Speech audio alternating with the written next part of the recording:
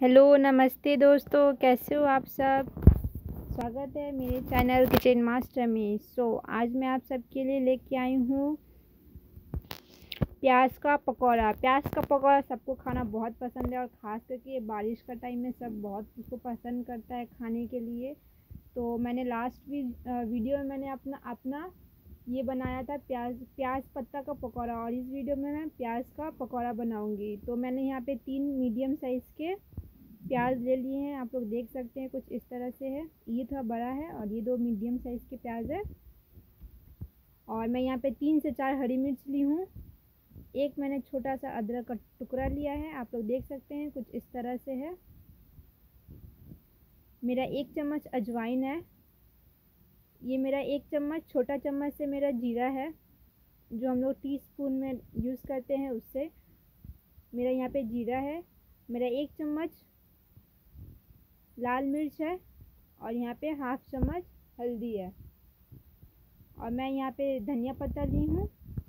तो मेरा थोड़ा सा धनिया पत्ता है, मैंने ज़्यादा नहीं लिया है। थोड़ा सा लिया, आप लोग देख सकते हैं क्वांटिटी और मैं यहाँ पे बेसन है, मैं बड़ा वाला, बड़ा चम्मच से मेरा दो चम्मच बेसन है इसमें।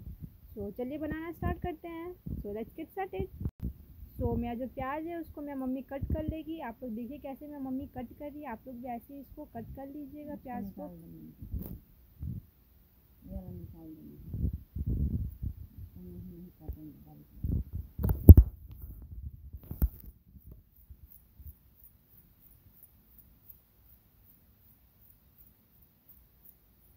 बारीक बारीक कटिएगा। नहीं नहीं। बारीक बारीक कटने से इसे क्या होगा कि पकौड़ा बहुत क्रिस्पी होगा। जितना पतला रहेगा उतना। इस तरह हम सारी प्याज़ें काट लेंगे। तो आप लोग देख सकते हैं मम्मी किस तरह से प्याज को कट कर रही है, आप लोग भी इसी तरह कट कर लीजिएगा। मैं आपको दिखा देती हूँ। तो मम्मी ने सारे प्याज इस तरह से कट करेंगी।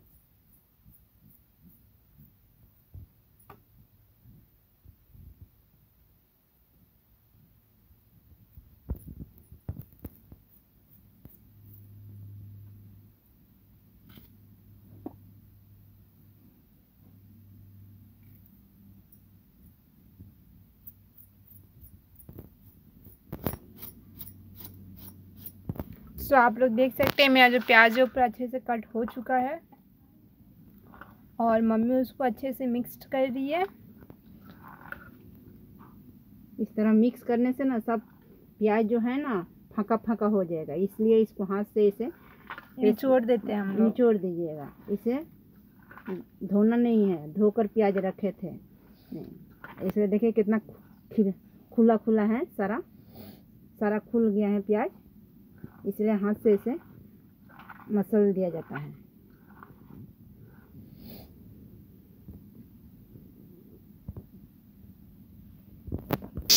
तो अब हम लोग इसका, हम लोग उसको अच्छे से मिक्स कर लिए थे हमारा प्याज को। तो अब हम इसमें देंगे धनिया पत्ता।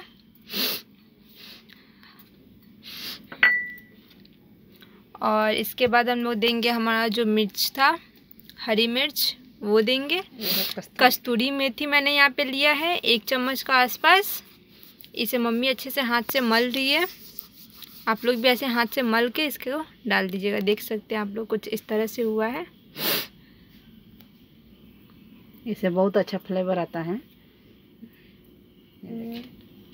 तो आप इसको मम्मी डालेगी और इसमें डालेगी। हमारा जो अजवाइन था वो अजवाइन को भी हम लोग हाथ में लेके उसे मल लेंगे।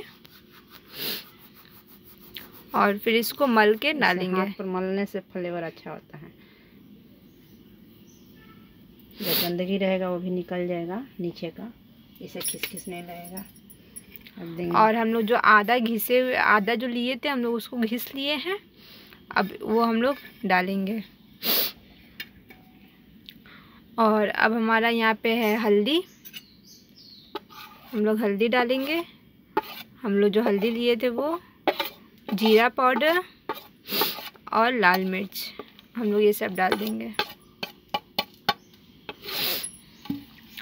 और अब हम देंगे बेसन। बेसन आप लोग नाप के दीजिएगा कि आपको कितना पड़ेगा। मैं यहाँ पे दो चम्मच बड़े चम्मच से दो चम्मच डाल रही हूँ। देख सकते हैं मैं चम्मच कितना बड़ा है। अब इसे हाथ से अब इसको हाथ से मम्मी मिक्स करेगी। बाद में नमक डालेंगे।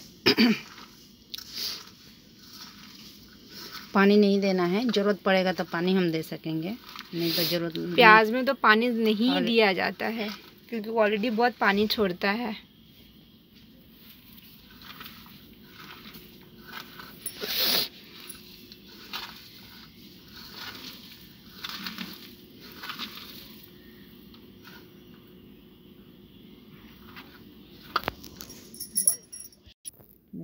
आप लोग देख सकते हैं, मम्मी ने कितने अच्छे से इसे मिक्स कर लिया है सबको। अब इसमें हम लोग नमक डालेंगे। नमक अपने टेस्ट के हिसाब से डालिएगा।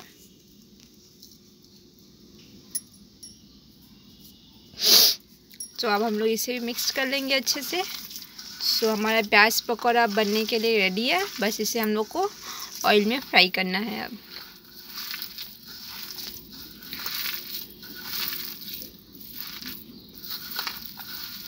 आपको इसे हाथ से ही मिक्स करना होगा आप सोचे कि हम चम्मच से मिक्स कर लें और अच्छे से मिक्स हो जाए तो नहीं हो पाएगा। आपको इसके अंदर हाथ डालना ही पड़ेगा मिक्स करने के लिए। सो आप लोग देख सकते हैं कितना अच्छे से हो चुका है हमारा प्याज का मसाला रेडी अब इसे हम लोग ऑयल में फ्राई करेंगे। सो so, मैंने प्याज का पकौड़ा बनाने के लिए यहाँ पे एक कढ़ाई लिया है इसके अंदर मैं तेल डाल चुकी हूँ और तेल को 10 मिनट के लिए हाई फ्लेम पे गर्म होने के लिए हम लोग छोड़ दिए हैं।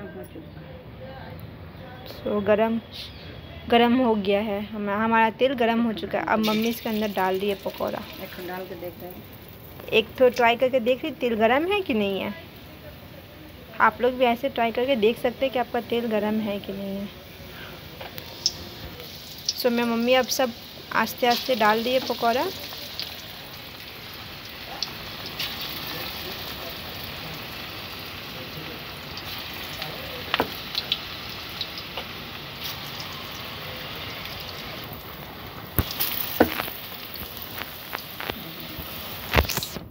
तो जब आप लोग इस पर इसको डाल लीजिएगा तो मीडियम फ्लेम पे बनाइएगा ना। थोड़ा हाई फ्लेम पर करेंगे। आप लोग चाहे तो तेल को हल्का सा शेक कर सकते हैं ताकि जो हमारा पकौड़ा है पूरा अच्छे से तेल में आ जाए। जैसा मम्मी कर रही, आप लोग भी ऐसा कर सकते हैं। और हम लोग फ्लेम को लो कर देंगे। लो फ्लेम में हम लोग बनाएँगे, क्योंकि हाई फ्लेम पे बनाएँगे तो हम लोग का अंदर से भी पूरा पकना चाहिए ना। तो इसके लिए हम लोग फ्लेम को लो किए हैं। हाई फ्लेम पे बस रेड होता है, पकता नहीं अच्छे से।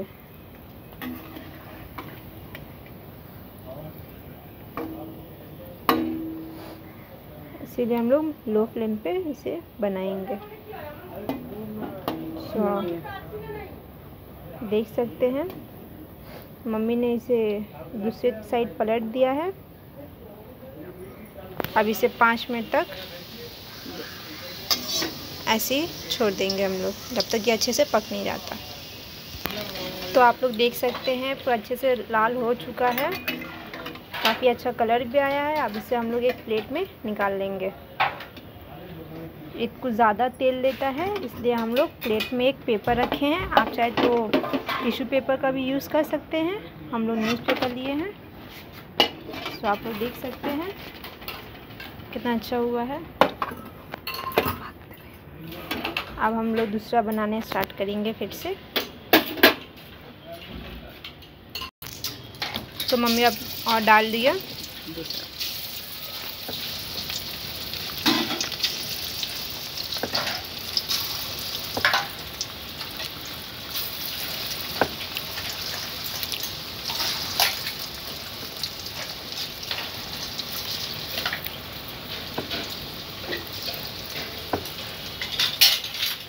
सो काफ़ी अच्छा से मम्मी पूरा डाल चुकी है। और हमारा थोड़ा सा ही बच गया है, ज़्यादा नहीं बचा है।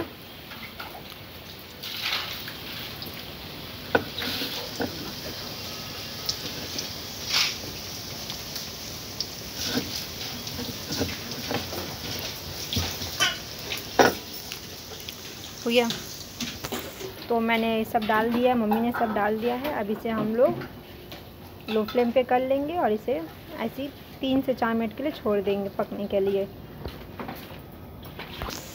सो so, मैंने इसे तीन से चार मिनट ऐसे रखा अब मैं इसे पलट दूँगी।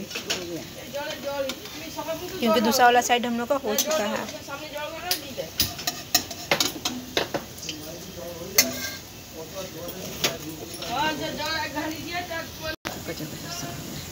सो so, दूसरा वाला साइड मम्मी अच्छे से पलट रही है आप लोग भी देख सकते हो। आप लोग भी मम्मी को फॉलो करके वैसे ही पलट सकते हैं।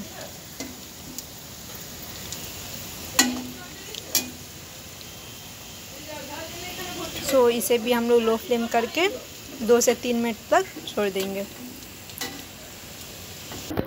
तो आप लोग देख सकते हैं मेरा अच्छे से हो चुका है एकदम ब्राउनिश में हो चुका है। काफ़ी अच्छा लगा रंग कलर भी इसका। तो हम लोग इसे निकाल लेंगे। प्लेट में हम लोग निकालेंगे।